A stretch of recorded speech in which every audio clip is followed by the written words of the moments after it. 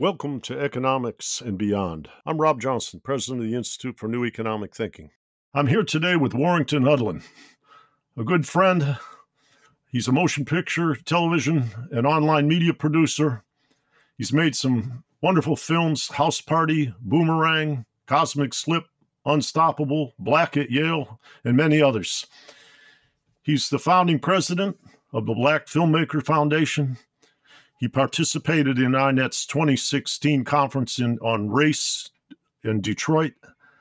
And uh, I don't know, I, every time I run into Warrington, whether it's at a movie screening or in my kitchen, it just things start to fly and I start to learn. So, Warrington, thanks for joining me and, and sharing with our audience here today. I'm delighted to be invited and uh, can't wait to chop it up. so here here we go.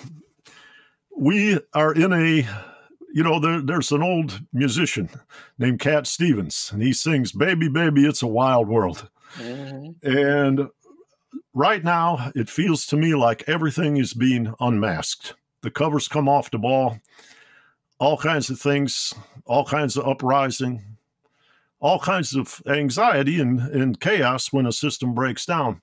But it's not a system we want to go back to. So, how are you seeing what's unfolding with relation to the pandemic, with relation to the social reaction to the death of George Floyd and others that preceded him? And where, what's the light at the end of the tunnel look like, and how are you and I going to help us get to that light? Well, I'm I'm sad to say that uh, my point of view is that the system is not breaking down. The system is doing what it's meant to be, what to, when it's meant to do. And the status of people of, of color from the beginning, from 16, 19 forward, is to be subordinate and exploited. And it's almost like a person who's walking down the street and you and you you look in the mirror and, and you say, "Is that me? Did I did I did, do I look like that?" And America has been able to deceive itself about what it does and how it treats people and what's happened recently is that that the reveal is there. It's always been going on. Uh, yeah. What's the famous quote Will Smith says? It's not more racism, simply more recordings, more, more cameras. And America mm-hmm. is very uncomfortable with what it looks, what it sees in the mirror. That's one part of America, because yeah. the, the bigger the bigger frame for me is that the Civil War never ended; it simply took a pause and the Confederates mm-hmm. are back in the White House now. And between uh, uh, Attorney General Barr and Donald Trump and and and and Mitch McConnell, these are all Confederates, and they're trying to uh, bring back that kind of um, status for everybody who's not white. And and and fortunately, that today there's enough people who don't agree with that. So the the kind of consensus of, of racial subordination and discrimination and disenfranchisement that America has been practicing for decades. Now, when people see it in the mirror, they say, oh, no, no, no, that can't be us. So everybody's upset because they actually see what's been what's been going on consistently. Yeah. Well, my friend at uh, Berkeley's uh, Othering and Belonging Institute, John Powell, talks about this notion mm-hmm. of othering as though if they're different than me, I can I can categorize it, and I can say, in in, uh, in almost a subconscious way, they're not even human. Yeah, oh, that's true. Absolutely, they're not worth. The, you know, the Declaration of Independence. We hold these truths to be self-evident that all men are created equal. Well, if that's true, how come we don't treat them well, all like humans? But but, but and, however, at this, I mean, we, we we, we there's constant reference to the Declaration of Independence, but in the Constitution, you know, it is codified three fifths of a man. So at the same time, and the people who wrote, the man who who wrote and signed that, many of them were slave owners. So that's right. I, I think that's that right. that that we, I can't get seduced by the promises of of of, of uh, the, the founding uh, declarations of freedom and equality because they really did not intend to include anybody who wasn't white. That's right. And, and so I don't, you know, I, I, I don't. So people say, "Oh, it's, it's America has failed." Yes, it's failed. You know, it wasn't intended to work. So we're walking around either uh, surprised or shocked. I mean, I, I think if you're surprised or shocked, you haven't been paying attention. You haven't been paying attention for hundreds of years. Exactly right. yeah, it's the original sin of the United States, yes. and it's not, and it's not behind us. It's the It's upon us. the ongoing sin. Yeah, but what's what's going on? Mhm. What's ongoing? I'm sorry, I sound like Marvin Gaye. What's going on? Yeah, Uh, things sound like this. What, the the, the uh, what's ongoing Mhm. is being also fueled by young people coming up and seeing no ladder in the rungs of opportunity. In other words, there's a whole spectrum Mhm. of false promises Yeah. that are supposed to inspire you to want to be American, Mhm. and yet the bluff is being called. And the outcome of this pandemic and Mhm. who's dying and who's forced into working in dangerous circumstances is a testament to that that unfairness, that inequality, that inhumanity. and and and and and, and what makes that awareness greater than than before is, for example, let's start. There was some stats. Right now, if a person is 15 years old, then then that's Black, Latino, and Asians are the majority of Americans under the age 15. Next year, they've been majority the age 16, and so on and so on. So if you're a young person growing up in America today, you have access and encounters and sharing the space emotionally, physically, etc., with people who from multicultural backgrounds. So that kind of the, the, the ignorance of racism is difficult to to survive in that sunlight.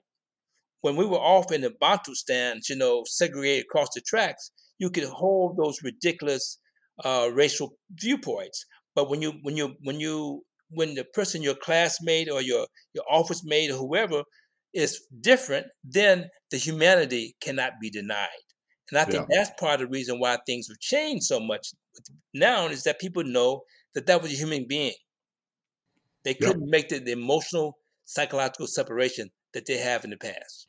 Yeah, I made a podcast recently with a gentleman you probably uh, met in in our Detroit conference, Henry Ponder, who was in his 90s, and he underscored this a great deal. He talked Mhm. about living in Oklahoma during the time of the Depression, and he said it wasn't even that depressing because you didn't have a vision of anything that was that much different than what you were doing.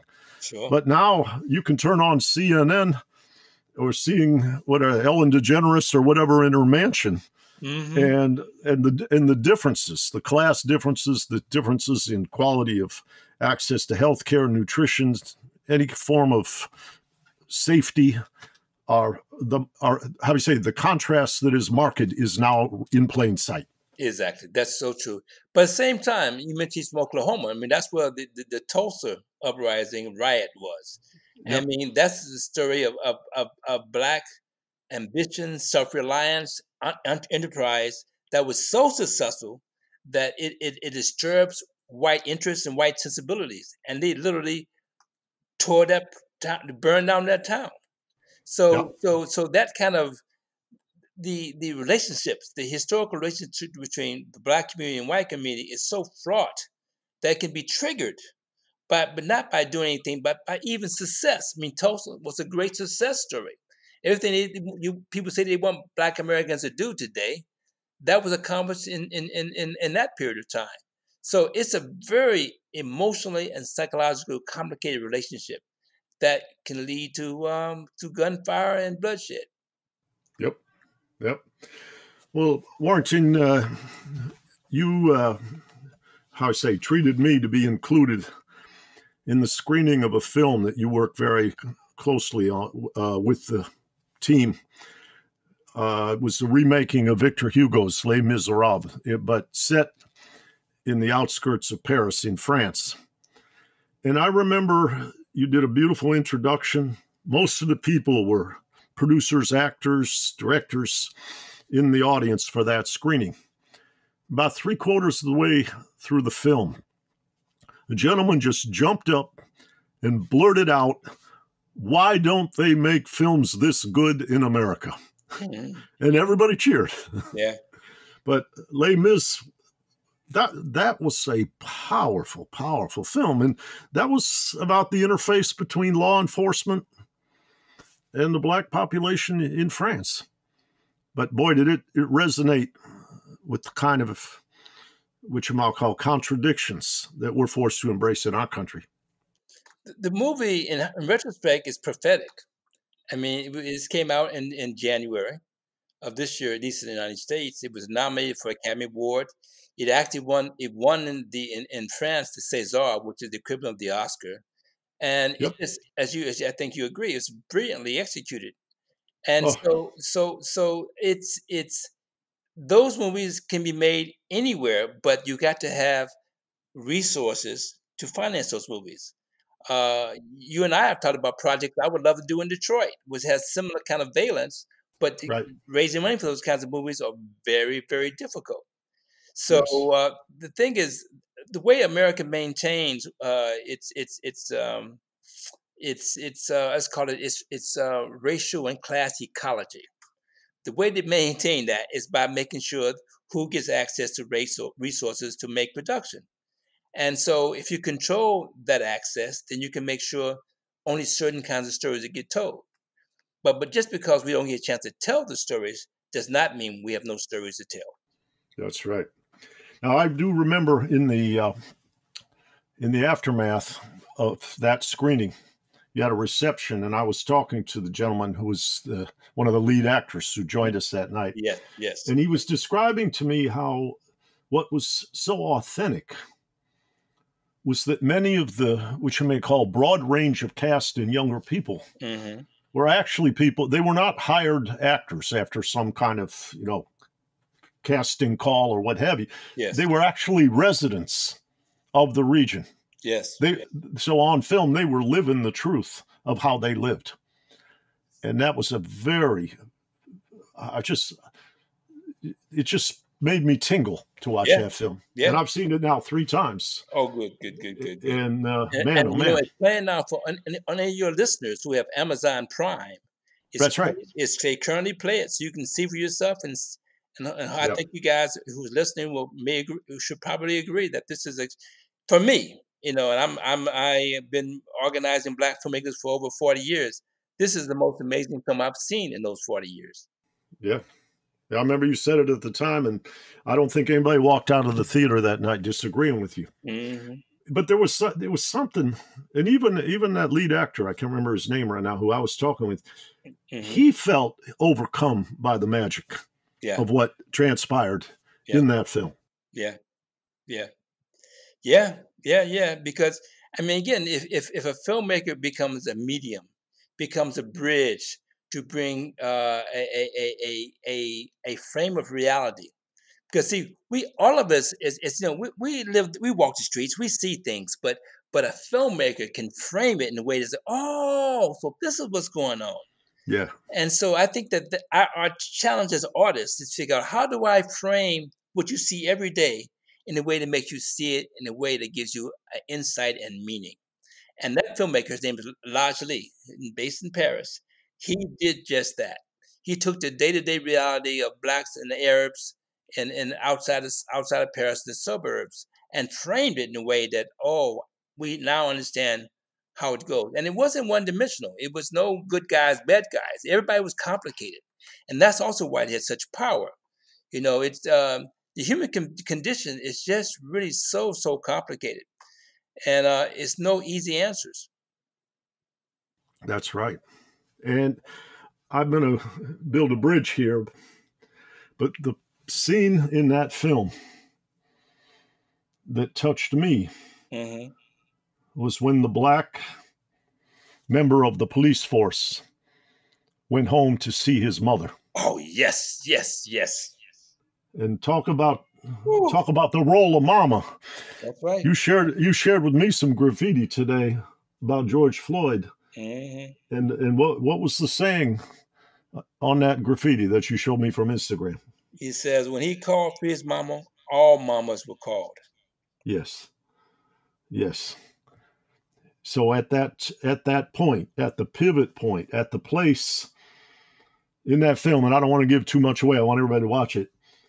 Mama played a role. Absolutely. Just as and, and, and way, Mama played, just as Mama played a role mm-hmm. in the movie we just saw over nine minutes. That's right. That's that right. drove us all crazy. Yeah, yeah, yeah, yeah, yeah, yeah, yeah, yeah.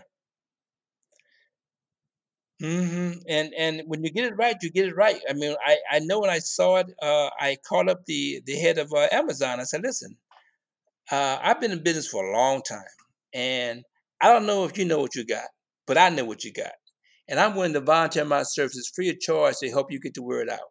And they were like surprised and pleased. They said, "Okay, fine. We'll, you know, we'll book book the room. We'll pay for it." And then I called you and I called all the people who are who are interested in social justice, whether that they work behind the camera or in front of the camera or, or in, in finance, music, etc. So it was an eclectic yeah. room, a multicultural eclectic room of like-minded people who I knew. Yeah, I sat with I sat with Rashad Robinson from yeah, Color Change at the film. that's film. Right, and and I, I love sitting next to Rashad because he's very expressive. Oh yeah, and it was oh, one moment in the film I thought he was going to jump up, you know, because it was just so powerful. That's right. He's got his heart on his sleeve for sure. Absolutely. Absolutely. In a beautiful, beautiful way. It's, it's not self indulgence, it's radiance. Precisely. And, yep. But so let's let's talk a little bit about where a person like you, a filmmaker, in this case, we're talking in Les Mis, you're talking about you seeing something someone else did and running it up the flagpole with your relationships to make sure mm-hmm. it got the attention it deserved. Sure. But what what what kind of things are you envisioning making now? What what's been on uh, what's been in your pipeline for some time? You mentioned the project in Detroit that we discussed, but mm-hmm. what what are you what are you planning to say to the world through your own work in this next period? Well, I mean, it's pretty much. I mean, my my my statement, my insight, the thing I'm going to share, that hasn't been unchanged. I mean, I started uh, make film in the '70s, and I I was in college in the '70s, and and the the the milieu. I mean, when when I was a freshman, uh, Bobby Seale was on trial, two mm. blocks from, from where my dorm was, and the Black Panther Party was very strong in New Haven, Connecticut, and so I came to a consciousness at a time of tremendous uh, breaking of the frame of, of the American lie. And so, with so many active speakers, uh, super articulate, aggressive people who said, no, no, no, no, we, this is not how it really works. So, I had the benefit of having those voices. I mean, as a young person, hearing those articulate voices saying, this is how America really works. So, when I became a filmmaker, I said, okay, let me bring those artistic skills to advance those points of view in, in a way that's dramatic and engaging. So that hasn't changed. But what has changed is that the some some technology have changed. Most recently, and this I mean I say I mean like a day ago, I realized that the the social distancing means even if I get money right now to do my other projects, I couldn't do them because it's not safe. There's there's there's no treatment, there's no vaccine. It's we're in a very right. we're in a shutdown period. So I've been doing investigation because that once before I did a project on what's called VR, which is virtual reality. And that you can do with, with social distancing and, and computer animation and, and a whole bunch of new technology. So I've turned my attention to that space on an interim basis. And when you uh, talk about how technology's changed, mm-hmm it's not everybody going to the theater anymore. In fact, I tell you, it's it's uh yeah. Well, one sobering note is AMC Theater, which is one of the largest theater chains in America, is uh is in is, is doing bankruptcy bankruptcy protection. I saw that. Yeah, they were a big uplift to the theatrical release of Amazing Grace that I yes, worked on. Yes, and, yes. Uh, Which, by the uh, way, let me let me let me one more one more time. Thank you for rescuing that movie because that movie is so unbelievably powerful. And, yeah. and if you had not intervened and and and, and got the resources and the, and, and into release, that we've never never we have may have never seen that magic because it's nothing. The only way to describe that Amazing Grace is about magic, and and from scene to scene to scene, moment to moment, it's just like it's just incredible, just incredible. Yeah, Yeah, I mean, you watch Aretha for ninety minutes, and she she doesn't she doesn't say three words, Mhm. but she's in total command, and everybody understands. yes, yes, yes. And as I, I watched her as I was getting ready for the negotiations with her and her family while Mhm. she was still alive, I I went up to uh, Poughkeepsie, New York one night. Uh, I Mhm. think it was March 12th of t- 2017. People had told me her cancer had gone into remission. She was enthusiastic. And uh, my Mhm. friend Alan Light, who I think you know, that writes for the New York Times and Mhm. Rolling Stone, was Mhm. sitting next to me. And he says, I've seen her many, many times. I wasn't prepared for this. And I looked at him and I said, Is she a person or an angel? wow. I just can't, I can't not feel she was an angel. And that experience in 1972 Mhm. In that church in Los Angeles with James Cleveland and the choir and the Oh. congregation Oh yeah. and that wonderful band, Yes, she, she was like an angel. for sure. She just so went beyond and beyond and beyond. I mean, Mhm. anybody doesn't believe in the Holy Spirit, I'm going to give them that movie, and then That's and right. then we'll talk about it. That's we'll, right. We'll, That's we'll right. talk about it. That's proof positive. Proof positive. And in the theater, in the theater in Queens, uh, we showed it. What was it? Uh, back Oh, in that's the right. fall. I mean, people were like just touched. You, I mean, it's Yeah. just undeniable. Yeah. You know, no, so you don't have to believe. Just be able to feel.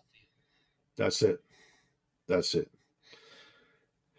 And I think the uh, how I say the gifts, the craftsmanship, the hard work, the rehearsals, and the insight that Aretha had to go back to her roots Yes. after she's already a star in soul and crossover and making Right. big money for Atlantic Right.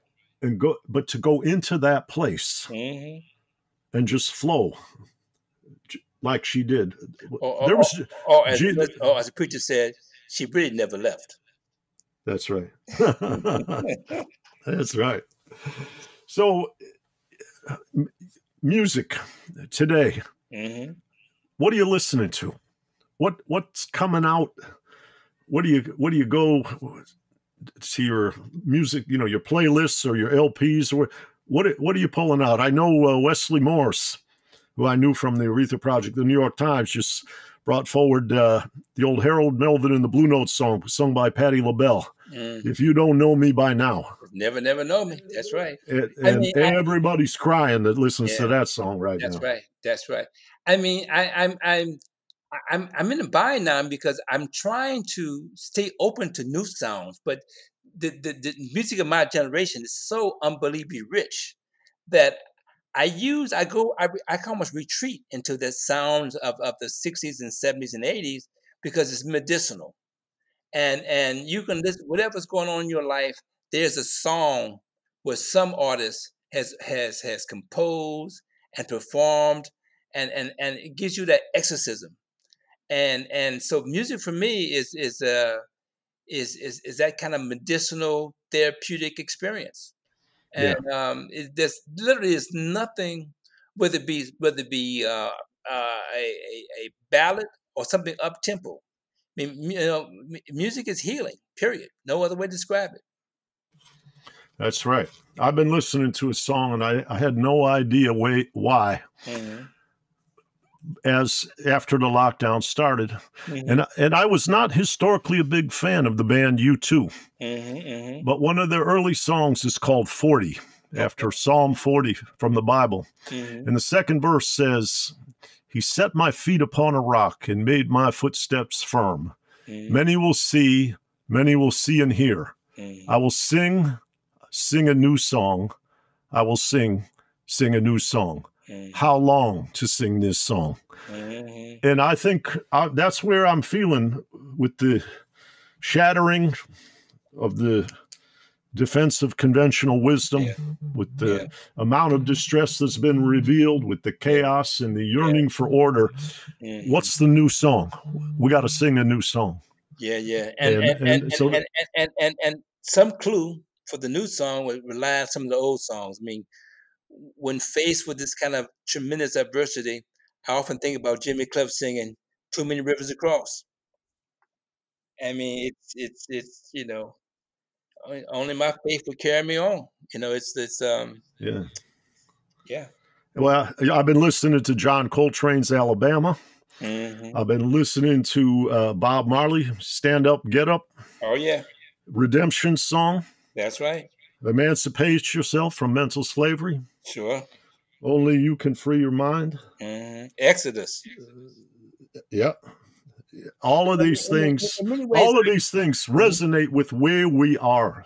You know, again. in many ways, I, it's it's the the musicians and the singers as as the featured artists have been so far ahead of the other people, the other art forms. I mean, with notable exceptions. I mean, maybe August Wilson as a as a playwright is a, is in their league, and and and and and a couple other filmmakers. But but overall, I mean, the, the musicians are just they're just at the point. You know, they're like they get it, and they and they, and they sing it and perform in a way that oh yeah, everybody connects with it. Yeah, well, at some level, which you might call, they're tapped into the electricity of emotion. Yeah. Yes. And at some level, they're they're the best. Both poets and, and artists are, are prescient. Mm-hmm. They can they can feel it before we can see it. Yeah. Yeah. Yeah. But I think I think yes, yes. But in addition to that, if we, uh, I mean, my obviously my art from is film. If I could truly understand how and why they do this, how and what they do, then I can translate that into cinema. And and many the, the, I mean many ways if you if you listen closer to the musicians, it gives you all the clues you need for, for you as a, as as as a, as a filmmaker. So I try to in fact, mm-hmm. when I mm-hmm. write my screenplays, I always have some music on in the background, mm-hmm. and, and, and, gives you my, my my my cues and my clues. Yeah, yeah. It's it's like a catalytic exactly. elixir. Yeah. Yeah. yeah. Or, or as you said earlier, it's the Holy Ghost. Yeah. Yeah. Well, you know, uh, it's a very interesting. Uh, I have a friend who's a poet. I think you and I have discussed Ed Pavlik, who uh, wrote a book about the inspiration of James Baldwin. Mm-hmm. And Baldwin was this fascinating man who I guess I would have described early in his early years as almost like a jujitsu stiletto essay fighter. Okay. Mm-hmm. He was he was as lucid and sharp. He, he, could win any debate. Yeah. He was brilliant. But he had a uh, epiphany mm-hmm. listening to a song by Aretha Franklin. Whoa. From the album Aretha Arrives called I Wonder. Mm-hmm. And in that, he basically came out and he said, She, in that song, speaks to the people and the person at the same time. Wow. Meaning he was speaking to the crowd about the context, mm-hmm. but he wasn't reaching the heart. Yeah. Yeah. So he went to his friend, whose name was Ray Charles, mm-hmm. and they composed something together called the Hallelujah Chorus that was mm-hmm. premiered at the opening night of the Newport Jazz Festival, which used to be at Carnegie Hall in New York before they went out to Newport, Rhode Island. And they did something together, which is they had the same story. And Baldwin did it as spoken word essay. And Ray Charles did it elliptically and poetically through music and lyrics and symbolism and sound. Wow. And the critics hated Baldwin and they loved Ray Charles. And they both knew they had exactly the same message. Mm-hmm. Mm-hmm. And so uh, that transformation into the poetic style mm-hmm. was a big part of Baldwin. Now, there, there's some work that Pavlik has done subsequently mm-hmm. where he followed some correspondence over over 30 years between Baldwin and his brother uh, whose name was David. Mm-hmm. I think James was the oldest, and this was the, the next mm-hmm. oldest sibling. And he used to describe that there were many James Baldwins. The first of which was James Baldwin, the essayist we've been talking about. Mm-hmm. The second was Jimmy Baldwin, the black gay man who had a, we might say, an undercover social life. Mm-hmm. Uh, the third was what he called Jamie Baldwin, which was this beautiful member of a family who wanted to make everybody proud through whatever he did. Mm-hmm. But the fourth one was, I don't remember the phrase, but it was something like the unnamed persona that goes into seclusion Mm-hmm. and asks to receive inspiration. Wow. And that the other three nourishments from family, Mm-hmm. from social and love life, and from community engagement and purpose have to be lifting his spirit to where he can be receptive Mm-hmm. to those signals. Exactly. And I, I, it's the most beautiful characterization of the creative process I've ever been exposed to. Yeah. Yeah. But Yeah, yeah. but it sounded to you. I, I wasn't even thinking about that when when you and I got on the uh, on the call here. But you you brought it out of me, a recollection from years before, and the way you described your process. Yeah, yeah. In fact, something. Um, uh, another uh, point of entry was uh, they, they would think August Wilson was quoted, and how he'll sit at, at the desk, and and and the, a character will walk in the room, and start talking to him, and so he it, it, the character is his guide, his narrator, and I really believe that that that that that level of art when when you move beyond artifice, when you really are channeling the story that must be told, there's other forces that guide you. And the Mhm. same way that if it's it's it's it's the same way there's in a Pentecostal church this moment of religious ecstasy, or or in a in a Brazilian candomblé, or I mean, there are moments in which you are in touch with with the unseen forces that that tell you why you're here and what you need to do Yeah, and the artist who can listen will be very very uh create powerful work when you talk about channeling, it always takes me back to watching Audra McDonald when she played Billie Holiday mm-hmm. in that wonderful play about uh, at the Emerson Grill, Lady Day at the Emerson Bar and Grill. Mm-hmm. yeah yeah mm-hmm. and uh, I just I watched her and I felt like she was just showing me Billie. yeah There, yeah there was there was no actress; she was a conduit, and uh, it was a brilliant, brilliant performance. mm-hmm. So the uh, the politics of right now.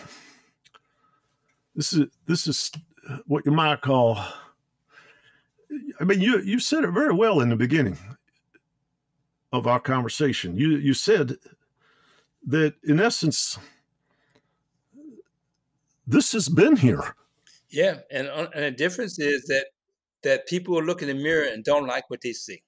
But but what's been going on is like when you it's, it's like when if you've been overeating for the last few know whatever years and who how how did that happen? No you've been doing it. You just haven't seen yourself. You haven't had that reflection. So in fact uh uh you showed me that extraordinary t-shirt and and and in relief was all these incredible faces but it was like it was dozens and dozens of faces. So clearly I mean, uh, uh, uh, uh, brother, brother George Floyd is the latest and, and, and gruesomeness example, but these things, unfortunately, have been consistent. Yeah, I mean, what we can hope is that he's the straw that broke the camel's back, and Yeah, leads to Yeah. leads to Okay. change. But but but you got to be you, you got to be skeptical. You can but you can hope. but, but just just that we have to start with. I think that the, here's the thing: as long as we think that something's wrong, then that's we we we disadvantaged. We got to say why does this happen? Let's address why. If we treat this as something unusual or this this this misconduct is there for a reason. Police departments historically grew out of out of slave patrols and slave catchers the relationship with police and black people was always as a, as an oppressive, abusive, occupying force. So so of course they act like this. It makes sense. And, and so and so unt- until we until we acknowledge why this is happening, we'll be at disadvantage to trying to fix it. Yeah. And and also it's going to be a problem because when you begin to figure out if the solution requires a loss of white privilege, then then it's going to be a real test. You know, I mean, the woman in Central Park, she said, "How dare this guy speak to her about her dog off the leash?" And she was genuinely, Oh yeah. she was Yeah, yeah. genuinely offended that he didn't know his place. And he was, and he spoke to her, and he was, you can see on the tape, he was very calm, you know. But she was, I mean, I'm just recognizing that that she, I'm sure, thought she was being reasonable. So there's there's there's a set of, of circumstances and a mindset where she feels comfortable with doing that.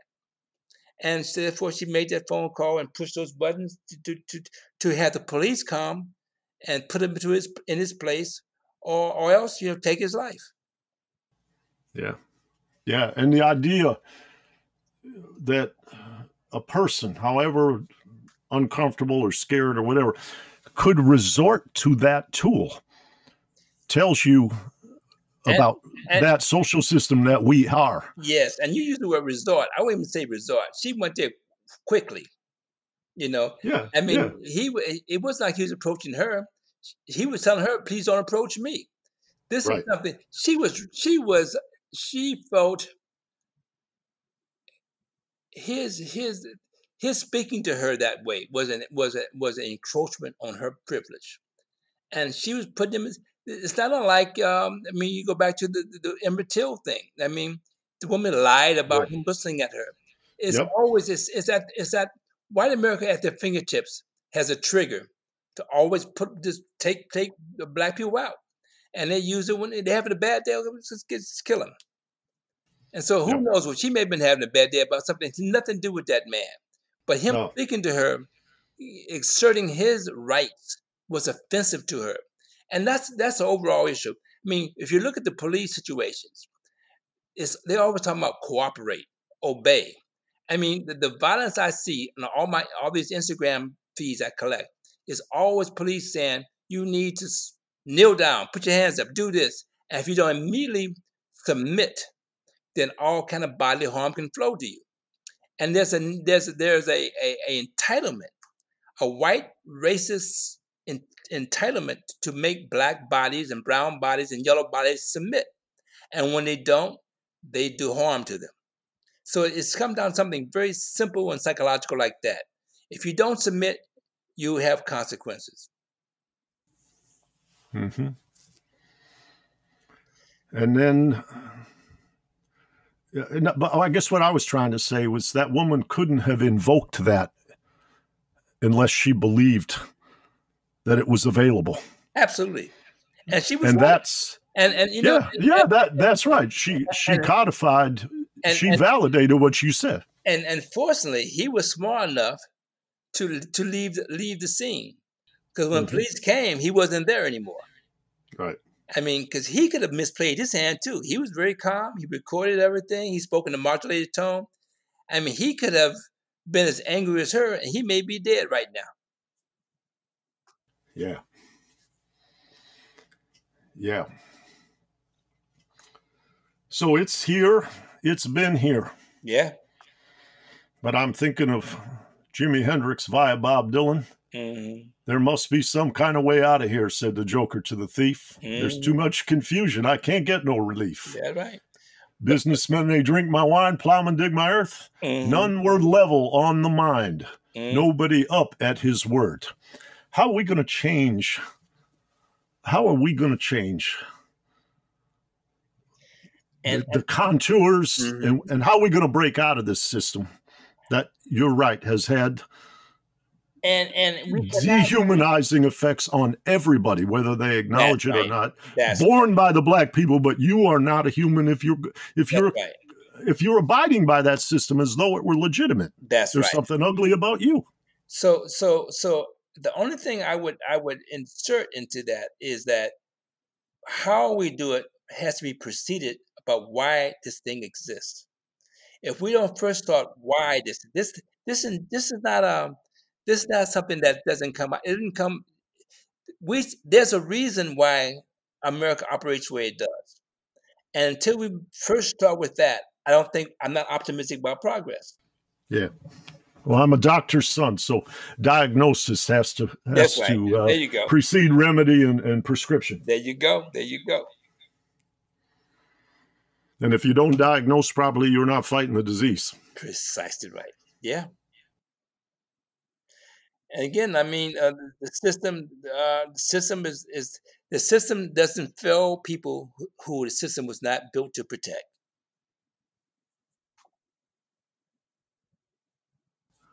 In in your reading, in your thinking about the history of, we've talked about music, but mm-hmm.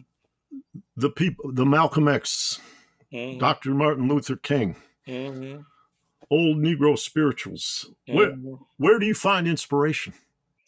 Well, um, when I was sixteen, uh, Fred Hampton had a, mm. leader the Black Panther Party in, in Chicago. Yep. And I was in East St. Louis, Illinois, which is you know downstate from Chicago, and I was just impressed by this guy. He was just this young, charismatic guy, and I told my parents I want to go to Chicago and join the Black Panther Party. And my father said, "You're 16 years old, you're under my roof, and you're not going anyway." And I kicked and screamed and hollered, you know, and but I, you know, he's he's the boss, so I didn't go. And the next morning, he walked in my room and threw the paper. The headline was Fred Hampton was murdered. Oof. He said, "Now see, I told you."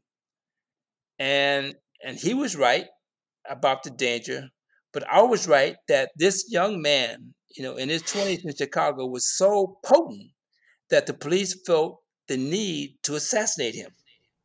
Mm-hmm. And so I have been, always been struck by the presence of, of, of men and women who have such heroic power who have such tremendous charisma, who are such great articulators that they can stand up, fight back, and inspire others. So, and some of them are, are, are straight up uh, organizers like Fred Hampton.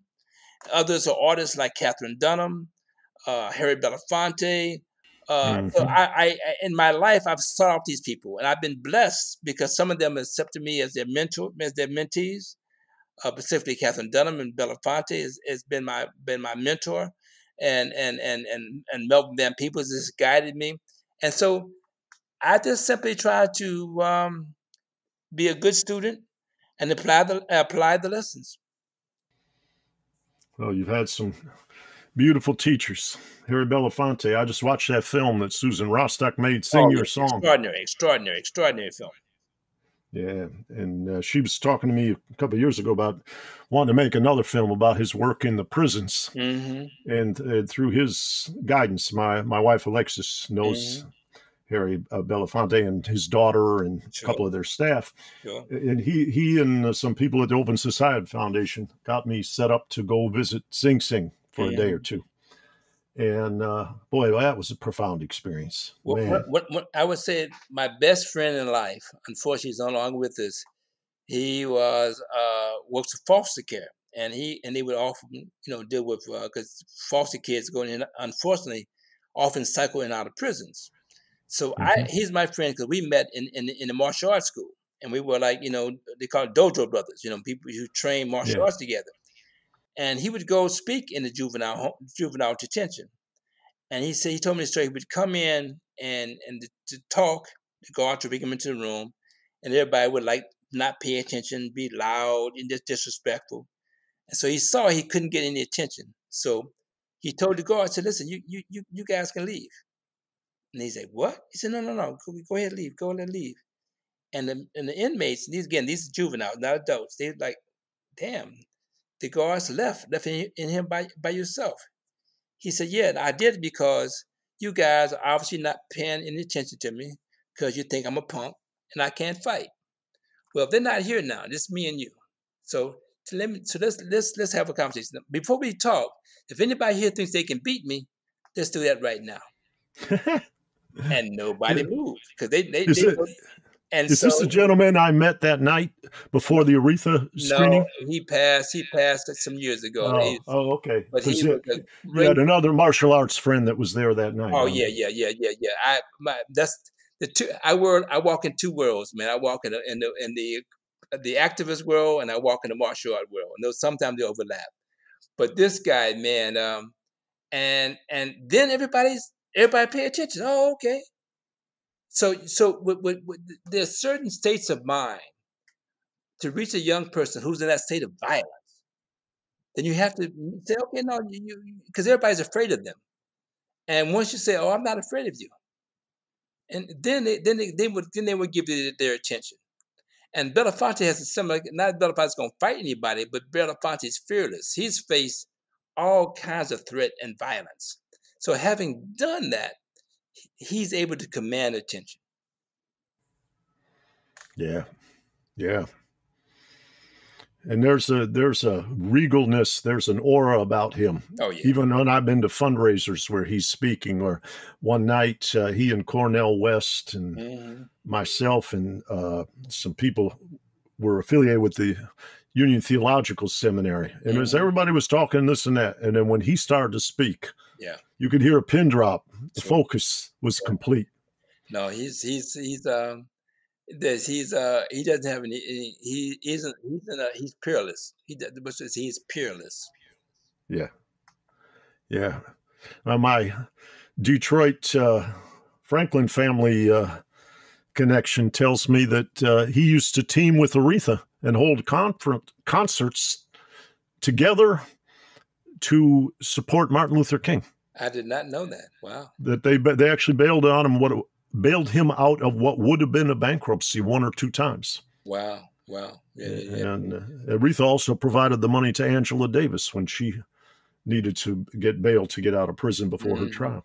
Yeah. But uh, but but Harry Belafonte has been there from from the beginning Absolutely. of of his life and uh, and and, and at, at, at, tremendous expense and risk and jeopardy. Yes.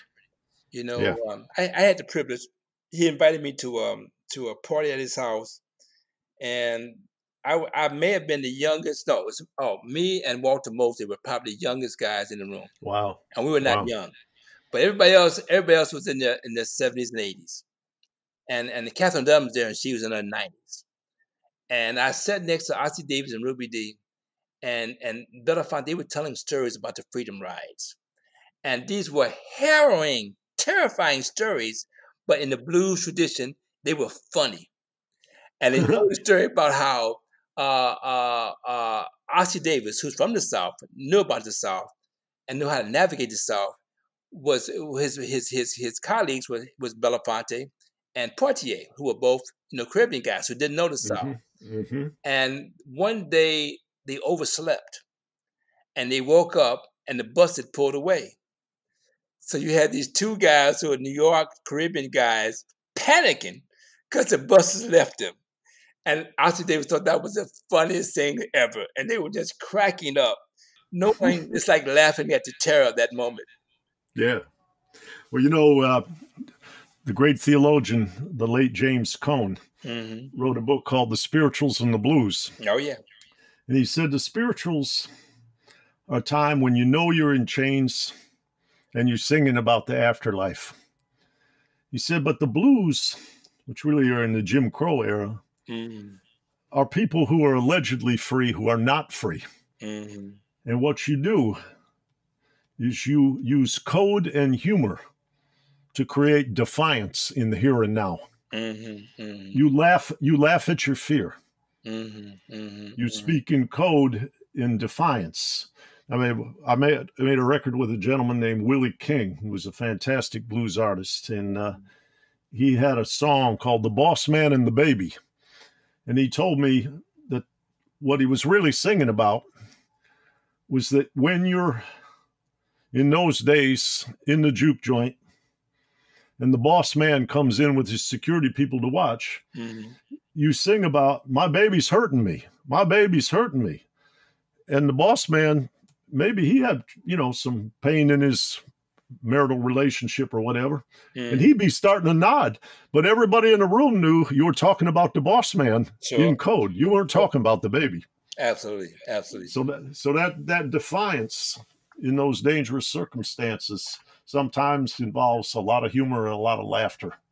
But it's yeah. it's it's deadly serious. I, I, agree. But but i would also those think I, I also give blues another a kind of a uh, elevated status where it, it becomes philosophical and spiritual and it's but it but it's it's not um it's it's it's spiritual it's, it's, it's almost like an existential statement and that why and the difference for me between gospel and blues is that in the gospel there is there's a salvation. There's you know Jesus is going to intervene. Jesus is going to redeem you. Jesus is going to save you. And the blues, you just in there. You know, it just it, it is what it is, and, and it's no way out. And you're trapped and you're caught, but you but there's no need to fall apart. You go ahead and turn it into art. And for me, uh, blues is an existentialist, existentialist expression. And for me, that's even more powerful because there's no resolution, there's no escape, there's no redemption. It's just you as a human being staring into the abyss. That's right. You're talking to a guy named Robert Johnson, so I can't disagree with you. That's right. yeah. Well, you know, the uh, you'd mentioned earlier Freddie Hampton. Mm-hmm. And uh, I had a conversation on this podcast a couple of weeks ago with Isiah Thomas, the mm. NBA star legend from from the Detroit Pistons, who grew up in Chicago. And his mother, Mary, mm-hmm. he's got a, uh, a charity in her honor called Mary's Court. She was an activist, but she worked in Chicago with mm. Freddie Hampton. Yeah, yeah. And he described that in our in our session. I hope people will step back and, and how you say retouch with with Isiah's beautiful, beautiful representation of of his approach to life, and uh, I, I think I, I named that session "Strength Through Vulnerability." Mm-hmm. That he's he's got a really quiet warmth about him. But mm-hmm. Freddie Hampton was a a big symbol, a big uh, but, but a, beacon, a beacon in his life. And and think about what he did. I mean, Chicago like like many cities at that time was gang ridden. So you had the Blackstone Rangers, you had this group and that group, yeah. and they were all basically pathological, destroying each other. And so he, from my understanding, he called a meeting, and everybody came to all the different gangs came to the big meeting. They was all in the same room, all feeling hostile. And uh, Fred had his had his Panthers like, okay, they, they locked the doors. He said, okay, no, we're not nobody's leaving until we till we, we reach a peace a peace agreement and they were shocked. But the Panthers were all armed. So like, oh, you in the room now, and they got guns and we don't. And but basically, he wasn't trying to. He wasn't using threat to intimidate. He was trying to using threats to get your attention to focus, to hear what he has to say. And he was mm-hmm. sufficiently insightful and charismatic. So the guy said, Yeah, yeah, you're making sense. You're making sense. So he brought peace to a war, a, a community that was at war with itself, and that's mm-hmm. why the police had to assassinate him because that's what they fear more yeah. than anything else. Yeah, they couldn't divide and conquer as easily with his cohesive presence. Exactly. Yeah. Yeah, yeah ma'am. So you're seeing uh, a whole lot of turmoil. It's not surprising. Yep. What does surprise you right now? I'm surprised that that the echo of this has reached the other side of the world. When I see New Zealand respond, that's literally the other side of the world. And I saw this morning the, there was a, uh, a statue in in in, uh, in UK of a slave uh, trader, and they put a rope around it and put it off the pedestal and dropped it into the river. I mean, mm. the, the the international echoes. I must say that does surprise me. I do, I do uh, experience the tension in the contrast. Mm-hmm. While we have activism here, and we're talking about, you know, another surprise restructuring, dismantling and restructuring the Minnesota Police Department. That, these are actions that are are yeah. almost unprecedented For as sure. a reaction. For sure. But but what I'm seeing, those structural things mm-hmm. here I had a call with a friend this morning who said, Why are people honoring these people like heroes all over the world, mm. but not here?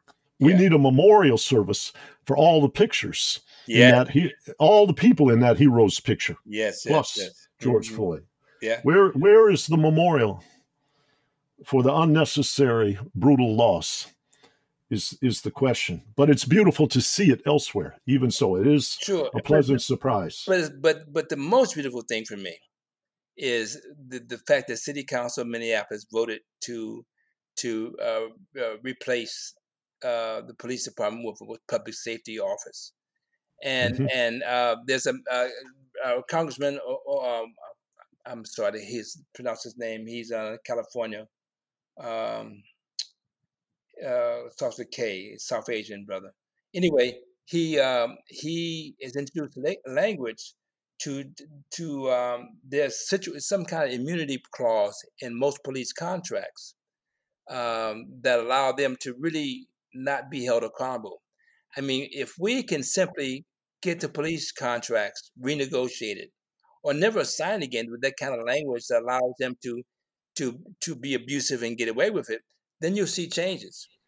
I Mhm. mean, if I knew that I could kill you and and the odds that I can walk away with it, then I wouldn't hesitate to kill. I mean, people need consequences, and the police unions protect the police officers from consequences. And it, and it's really it helps the individual bad people, but it hurts everybody because now genuine people who who are, are responsible are looked at askance because they were they they were basically a, a, a organized crime ring. Well, at some level, I think we all agree that law enforcement is a necessary part of a social structure. Sure. But the nature of how law enforcement is conducted is a human institution, and it can take a lot of different forms between, which you might call representing the public good on the positive side of the pendulum, hmm and this vigilante hideousness that's, how I say, been quite present, particularly in black communities. And, and it's different between law On the other. enforcement, law and justice. Those are two things that Yeah. only occasionally overlap. hmm But you're right when you talk about what you know what what are the green shoots? What's blossoming? That that decision in Minnesota sets a precedent. Yeah. It makes it reasonable for other communities to consider similar. Yeah, Exactly. Because no one wants to be changes. first, but everybody's allowed to be second.